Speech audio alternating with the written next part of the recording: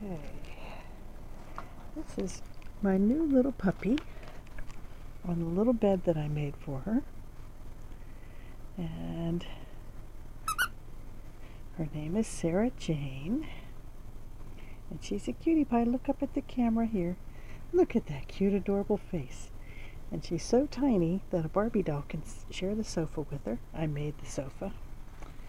So there's the little sofa with the puppy on it. She's a little bitty girl. Cute little Sarah Jane.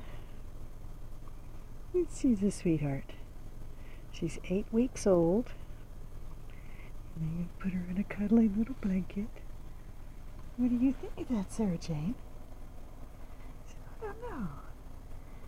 Just woke me up a minute ago to set me up for this cute video.